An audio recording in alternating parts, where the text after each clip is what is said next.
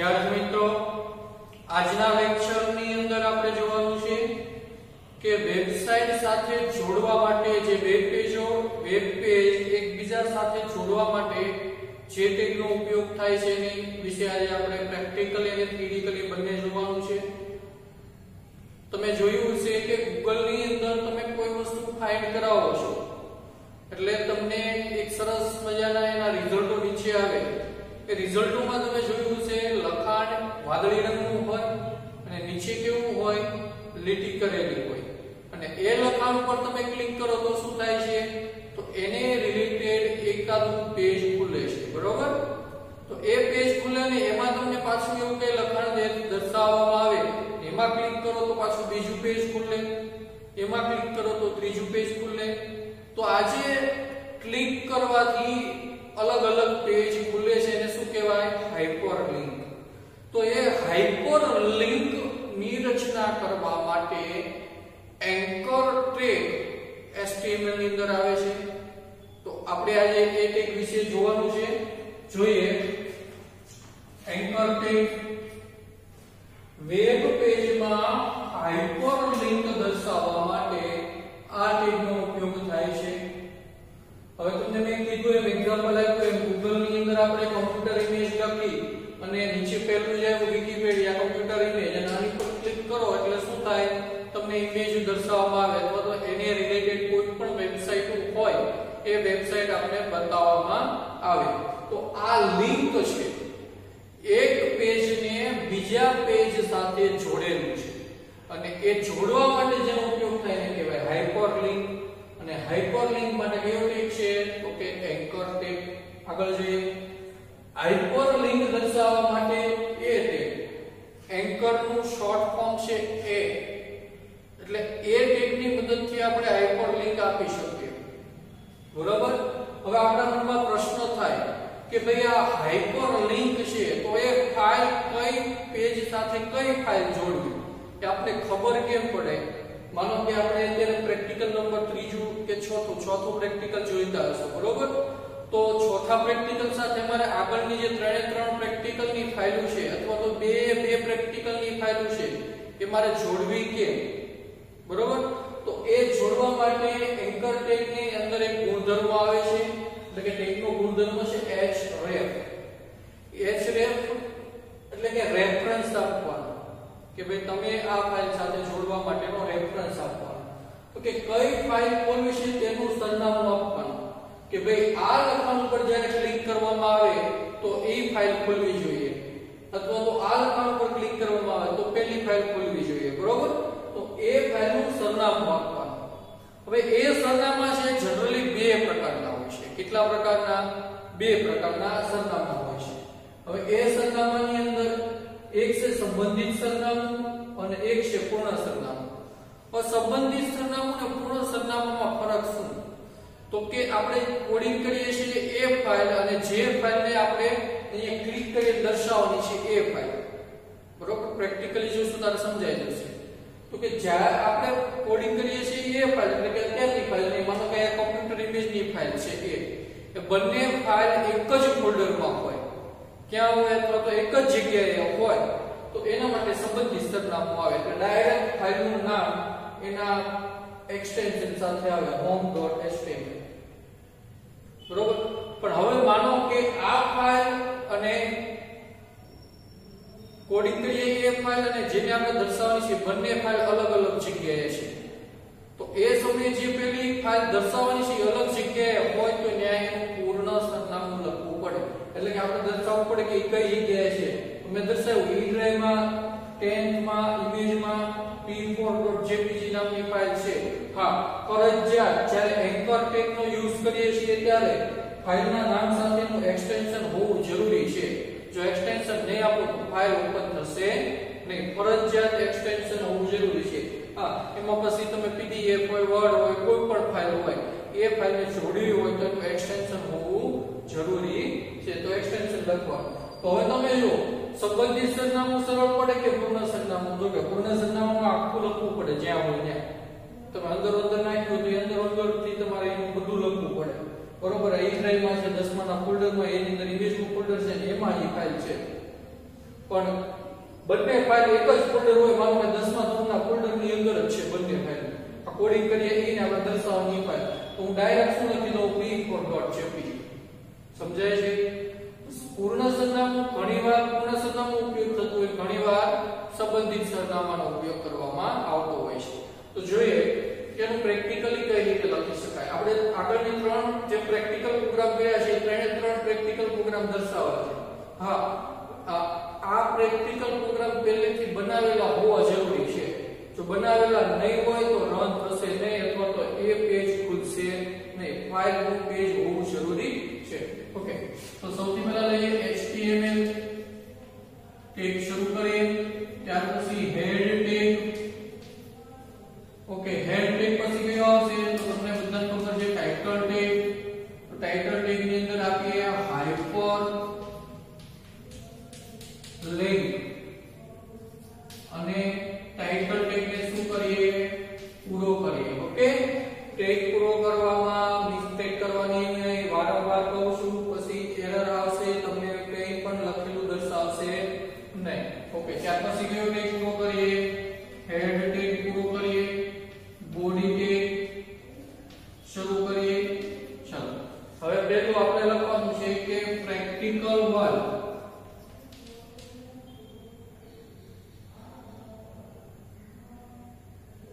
Practical 1 બરોબર? Practical 1 જોવા માટે તો આપણે અહીંયા નીચેની લાઈનમાં લઈ લઈએ પ્રેક્ટિકલ 1 કરીને કહેશું કે ભાઈ ક્લિક હિયર તો કે ક્લિક હિયર ઉપર ક્લિક કરો એટલે પ્રેક્ટિકલ 1 ઓપન થવું છે તો એના માટે એન્કર ટેગ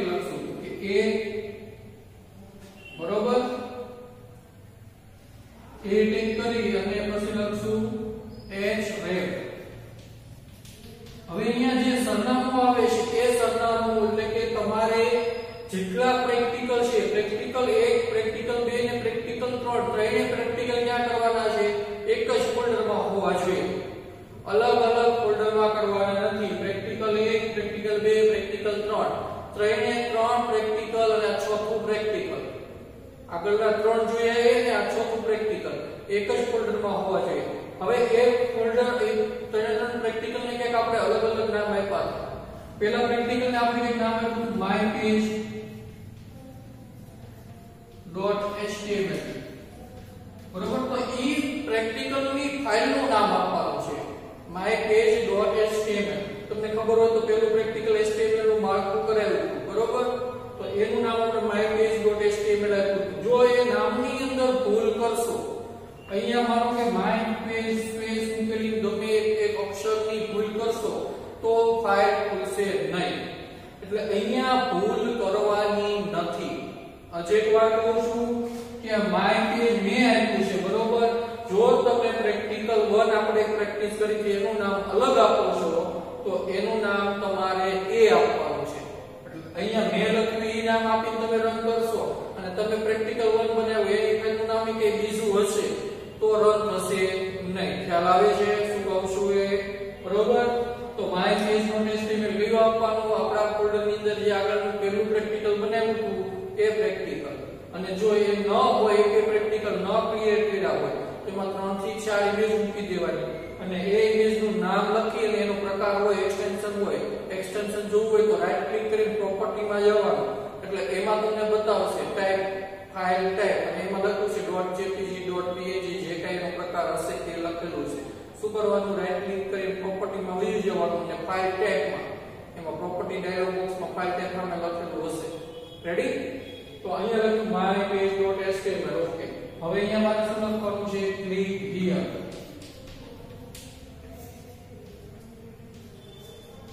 ટેગ ને શું કરો ઓકે પછી મારે નવી લીટીમાં લઈ જવું એટલે બીઆર મારી દઈશ ઓકે ઓકે હવે આપણે કયું ઓપન કરવાનું તો કે પ્રેક્ટિકલ નંબર 2 એના માટે ટેગ લખીએ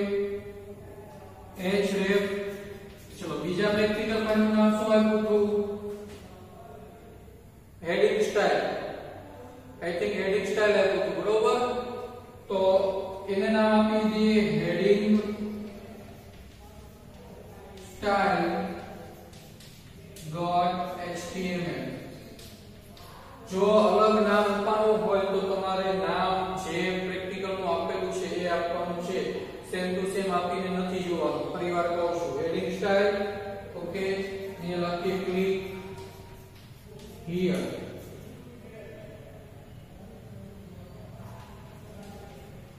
અને એન્કર પૂરો કરીએ. નીચે બીઆર ટેગને પણ પૂરો કરીએ. હવે આવ્યું પ્રેક્ટિકલ નંબર 3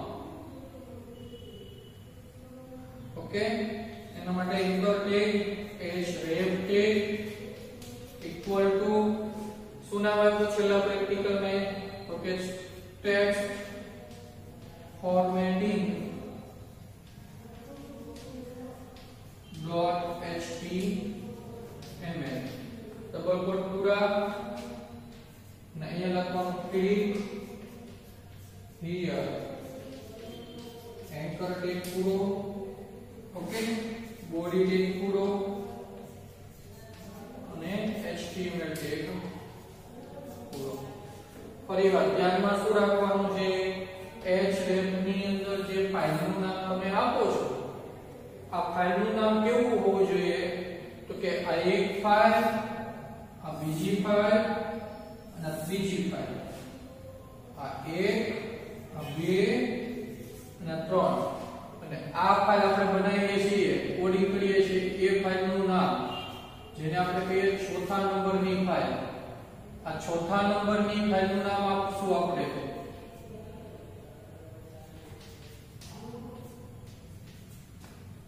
એનું નામ આપી દઈએ link dot html રેડી તો આ ચોથા નંબરની ફાઇલ કઈ link link dot html mypage dot html heading style dot html text formatting dot html આ ચારે ચાર ફાઇલ ફરજિયાત ક્યાં હોવી જોઈએ તો કે એક જ ફોલ્ડરમાં.